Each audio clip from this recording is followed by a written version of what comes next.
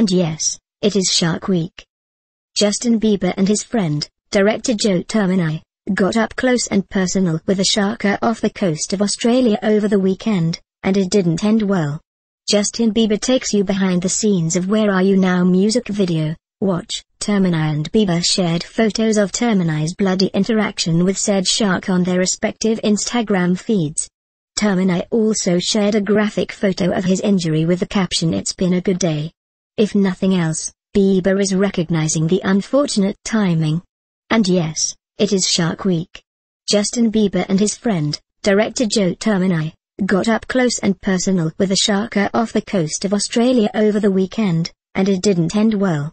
Justin Bieber takes you behind the scenes of Where Are You Now music video. Watch, Termini and Bieber shared photos of Termini's bloody interaction with said shark on their respective Instagram feeds.